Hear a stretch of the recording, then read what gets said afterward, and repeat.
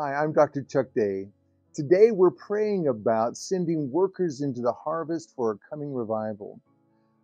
Ever since COVID, the God has just had this scripture stirring in my heart. There are scriptures in the Bible that are for all time, but every now and again there's a prophetic um, cycle that comes around that, that you say, this is for now. And I'm talking about First John chapter 2, verses 7 and 8. He says, It's no new commandment that I'm giving you, but an old commandment which you heard. That is the, the, the, the commandment is the word that you heard. But then he changes in verse 8 to say, Yet it is a new commandment, which is true in you and in him, that the darkness is passing away and the true light is already shining.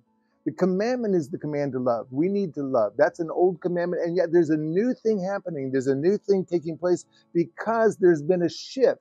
And as I said, ever since COVID, I have seen the darkness start to crack. It's passing away. And you need to understand a revival is starting to form, it's bubbling up, and we are going to be in it. I am believing God for revival in this year, and I want to pray into it. I want you to pray into it. And we need people we need workers. We need people who know the good news, who know the light, and can help the darkness to continue to recede, to rebuke the darkness, and to see God's love, God's power, God's light fill this earth.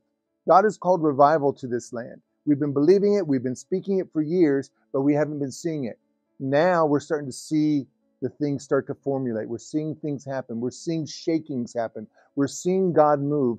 God wants you to be part of what He's doing. He wants you to be part of, of His action, of, of His move on this earth. And I'm going to pray that over you right this moment. Are Rapeleng. In the name of Jesus, as you hear me, I bless you to be filled with light, filled with power from God to rebuke the darkness, to see God's revival break forth, that people spontaneously come into his kingdom and want to serve God. People who've rejected God turn and they come in repentance to seek an almighty God, but they know that they need to be forgiven of their sins and they want God's salvation. I bless you as the prayer warriors for this coming revival in Jesus' name. Amen.